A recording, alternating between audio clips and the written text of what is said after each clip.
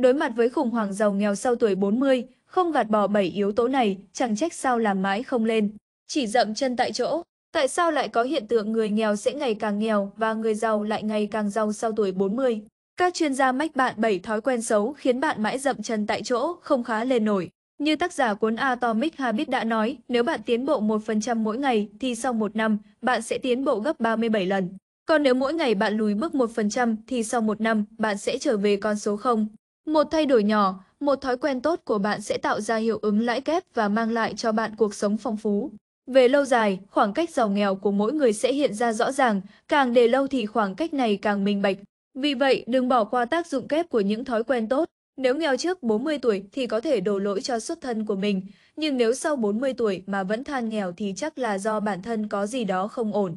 Đùn đẩy trách nhiệm thì chỉ khiến người ta chê cười mà thôi. Để tránh điều đó, các chuyên gia đã đúc kết được 7 thói quen xấu điển hình đang đẩy bạn xuống chiếc hố nghèo khổ.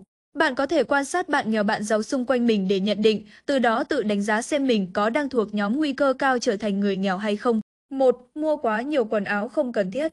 Thời trang nhanh là một cái bẫy khiến con người trở nên nghèo nàn.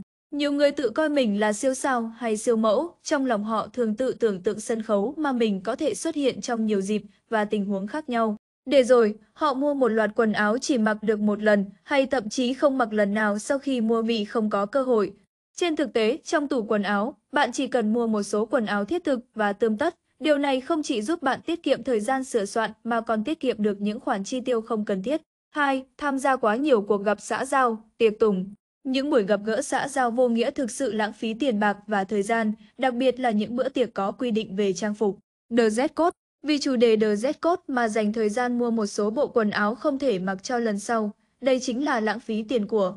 Tệ hơn nữa, khi tham gia party xã giao bạn uống quá nhiều, chơi quá điên cuồng, khiến tinh thần giảm sút vào ngày hôm sau. Có đáng không? Thay vì tham gia vào một bữa tiệc xã giao vô nghĩa, chỉ có những câu chuyện phiếm và những gương mặt mơ hồ, tốt hơn là đọc một cuốn sách ở nhà, ngủ một giấc thơm và ăn một bữa ngon.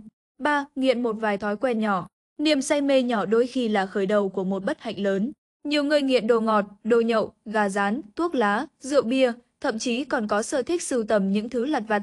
Nghiện những thói quen nhỏ tưởng chừng vô hại nhưng theo thời gian, chúng lại trở thành gánh nặng rất lớn. Bạn có thể thỉnh thoảng thỏa những cơn nghiện lành mạnh, nhưng đừng biến nó thành thói quen. 4. Thích mua các gói khuyến mãi, giảm giá. Khi thấy ưu đãi mua 10 tặng một set, tặng thêm khóa học, coupon sở ba, không ít người đói con mắt mà chẳng ngần ngại quẹt thẻ ngay. Khi ôm đồm một tá khóa học được giảm giá, bạn đã nghĩ rằng sẽ có thể thúc giục bản thân tiến bộ mỗi ngày. Nhưng cuối cùng bạn nhận ra rằng bạn đã đánh giá quá cao khả năng của mình. Dù gì bạn cũng không siêng năng như vậy, thà rằng thực dụng một tí, dùng bao nhiêu thì mua bấy nhiêu là đủ. Ngược lại, những người giàu cũng thỉnh thoảng mua vé số, nhưng họ không dùng nửa thu nhập từ công việc của mình để đánh liều bằng cách này. Chúng số không phải là một chiến lược làm giàu, họ tin rằng chỉ bằng cách làm việc chăm chỉ thì họ mới có thể thành công. Bạn càng tin vào may mắn, bạn càng bỏ qua tầm quan trọng của sự chăm chỉ. Thói quen này chắc chắn sẽ khiến bạn thắng món hời nhỏ, thua cuộc đời lớn. 5. Tích mua đồ khuyến mãi, rẻ tiền. Bạn thường mua quá nhiều thứ không cần thiết vì đang có giá sốc, khuyến mãi, giá rẻ. Thực ra, tốt nhất bạn nên có thói quen lập danh sách mua sắm và liệt kê thứ tự ưu tiên của những lần mua hàng để tránh cho mình những hành vi mua hàng bất quy tắc. 7. Chi tiêu thường vượt quá khả năng. Mua xe, bảo dưỡng xe, vay thế chấp. Khi không có của cải mà chi tiêu vượt quá khả năng của bản thân, thì kiểu sống hôm nay tiêu tiền ngày mai này sẽ chỉ dẫn đến cái vòng nghèo khổ vô cực sau này. Hãy suy nghĩ kỹ trước khi thực hiện một giao dịch mua hàng bốc đồng. Những gì bạn mua là một món nợ cho cuộc sống nếu nó không ngừng làm tăng chi tiêu trong tương lai. 7 thói quen khiến bạn nghèo vẫn hoàn nghèo kể trên không khó đoán, nhưng lại thường bị làm ngơ.